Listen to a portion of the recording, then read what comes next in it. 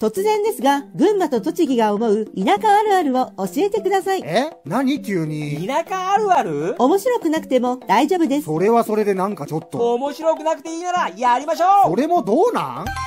それでは、群馬と栃木が思う田舎あるある、元気よく、スタート夜、黒い服を着て出歩くと、車にひかれそうになっぞ。街灯ないから夜の暗闇に溶け込むっぞ。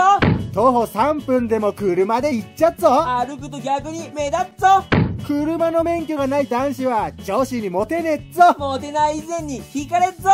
250ml の缶ジュースを箱で買っちゃうぞ。友達の家に行くと三ツ矢サイダーが出てくるっぞ土が多いから白い靴はすぐ汚れっぞ。かといって黒も黒で汚れが目立つっぞ。土曜は代行2時間待ちだっぞ。迎えに行くときすごい速さで走ってっぞ。コイン製マイクいっぱいあっぞ。でも言うほど使ったことねっぞ。終了。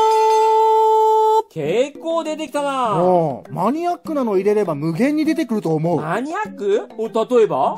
高校生は電車に乗ると、バッグを床にドサンって置くい。や、めちゃくちゃマニアックだな。野球部はバッグが大きいからドスンの音がでけえ。いや、わかるか